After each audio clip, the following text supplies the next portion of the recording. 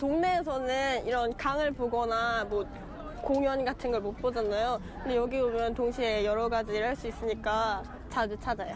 법안을 만들었다는 것 자체는 문제가 있어서 만든 것 같은데 그게 뒷정리를 안 하거나 뭔가 어, 부족한 시민의식 이런 것 때문인 것 같아요.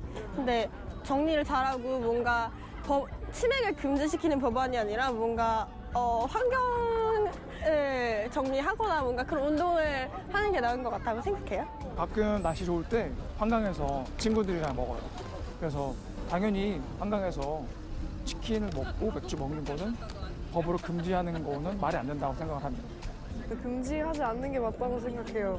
무조건 술이라고 해서 술병에 담아 온다, 온다고 할 보장이 없으니까 만약에 금지한다 해도 텀블러 같은 데 담아와서 마시면 그만이기 때문에 똑같은 부작용은 발생할 수 있다고 생각해요.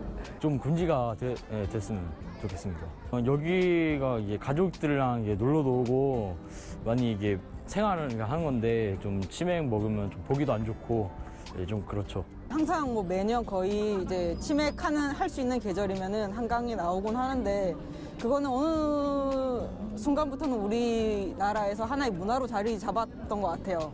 그래서 뭐 모든 국민이 이렇게 뭐 많이 나오고 즐기고 있잖아요.